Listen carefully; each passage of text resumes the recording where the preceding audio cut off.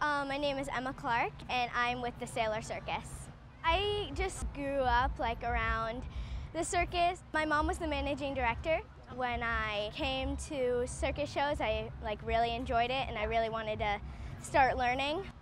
The way that they acted and how talented they were, I was like, oh, I want to be that talented too. I think I was seven years old. Took me four years. That's how long I've been working with them. There's three other boys. First year I was like, uh, what is what is going on? And then I got used to working with them and they are flipping me around and throwing me and catching me.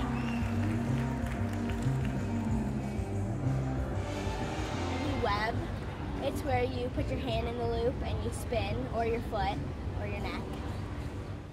It's so amazing to feel that you've worked like so hard over the past years or months. It's just amazing that you have gotten that far to get to that point where you're actually performing in front of thousands and thousands of people. But when I just get the applause and then I know that the audience loved it, then I know that I'm happy. I want to become like a professional circus performer. Being in front of a crowd, I love performing. It's basically my home.